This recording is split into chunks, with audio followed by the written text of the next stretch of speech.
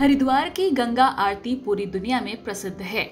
इस आरती में न सिर्फ़ भारतीय, बल्कि विदेशी पर्यटक भी बड़ी संख्या में शामिल होते हैं। इस बीच बॉलीवुड की कंट्रोवर्सी क्वीन कंगना रनौत भी गंगा आरती में शामिल हुई।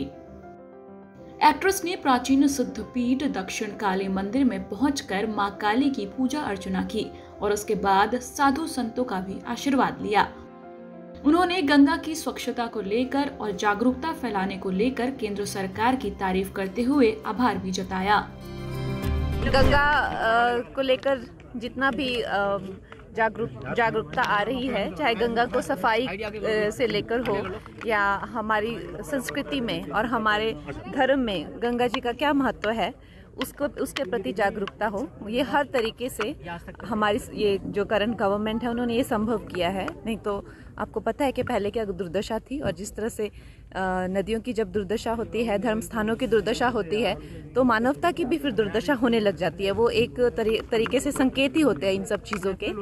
तो अच्छी बात है। जय कि मोदी जी जो हैं मानवता के साथ साथ धर्म का भी कल्याण कर रहे हैं। कंगना ने पूजा के दौरान देश की खुशहाली की भी कामना की। उन्होंने ये भी कहा कि अपने कल्याण के लिए हमें नदियों का भी कल्याण करना होगा। यहाँ तक कि उनसे जब आगामी लोकसभा चुनाव को लेकर सवाल किया गया तो इसका जवाब देते हुए कंगना ने कहा कि 2024 में भी वही होगा जो 2019 में हुआ था। देवी गंगा जी की महत्वता है। उसका हमें विचार करना चाहिए और उसको हमेशा ही ध्यान में रखते हुए गंगा जी को जो है साफ़ रखना चाहिए। और बाकी 2024 में आपने कहा।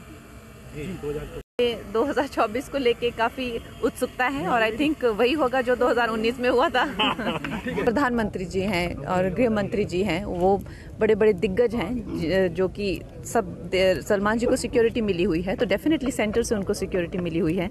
तो जिनकी रक्षा खुद स्वयं श्री नरेंद्र मोदी जी एंड श्री अमित शाह जी और वो पूरी सेंटर से जो मिली हुई है सिक्योरिटी तो हम भी इस बात को लेके काफ़ी आश्वासन में हैं कि उनका भी अच्छे से जिस तरह से ख्याल रखा जा रहा है। मुझे भी जब धमकी मिली तो मुझे भी सिक्योरिटी मिली थी। तो जब मैंने कहा, देश, अच्छे हाथों में है तो हम क्यों चिंता करें? हमारी चिंता करने लायक कोई बात नहीं है।